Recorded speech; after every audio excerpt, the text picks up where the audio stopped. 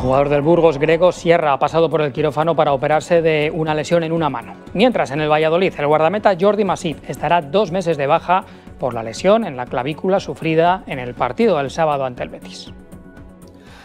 La entrada de Ayoce, tarde e innecesaria y por la que no vio ni amarilla, le tendrá Jordi Masip dos meses fuera de los terrenos de juego por una lesión en la clavícula.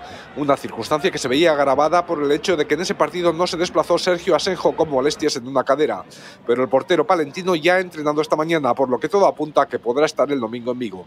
Si no, sería el baisoltano Álvaro Aceves el que tendría que defender la meta, algo que ya hizo debutando en Sevilla.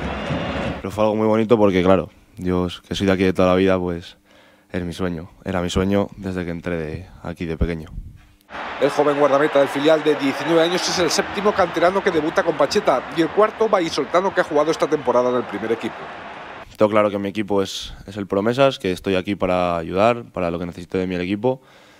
Yo pues me gustaría trabajar para poder tener más oportunidades, pero eso es algo que, que decide el míster. Ante la baja de Masip, hoy ha entrenado también con el primer equipo el portero del juvenil Fernando. Y también hay parte de lesiones en el Burgos. El central Grego Sierra ha tenido que ser intervenido de una fractura del cuarto y quinto metacarpiano de la mano derecha. El club no ha especificado el tiempo previsto de baja, aunque en este tipo de lesiones la mano debe estar inmovilizada unas tres semanas.